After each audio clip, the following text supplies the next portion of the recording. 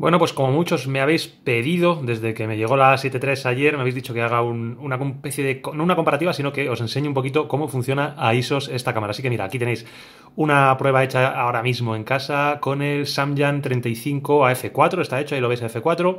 Y eh, bueno, la primera prueba es a ISO 3200, eh, puede que se desenfoque un poquito porque estoy con el móvil grabando.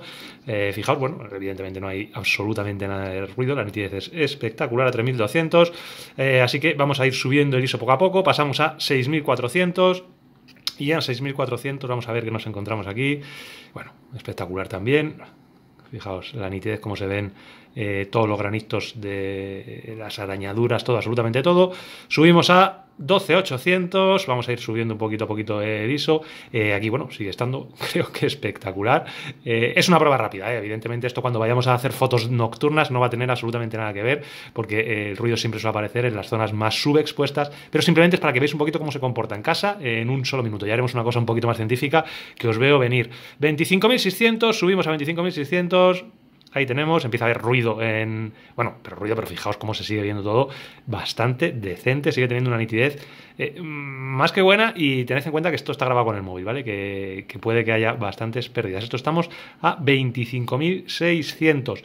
Subimos 51.200 y aquí, a ver, ya nos encontramos que eh, las zonas lisas se empiezan a romper un poco, pero bueno, si esto lo vemos eh, relativamente, vamos a hacerlo de nuevo. Ahí tenemos Joder, que se quede bien, a ver. Vale. Ahí tenemos a 51.200 ISO. Repito, fijaos como en las zonas más oscuras ya empieza todo a romperse bastante, pero es que estamos a 51.200 y a 102.400 ISO, que eso ya son eh, ISOs expandidos que tiene la cámara.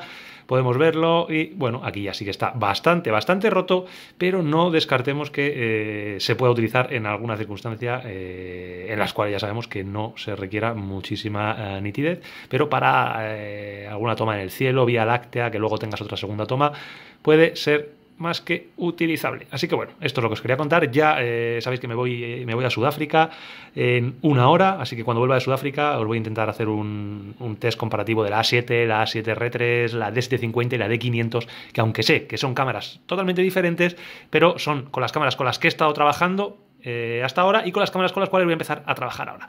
Así que amigos, como siempre, me despido de vosotros. Nos vemos.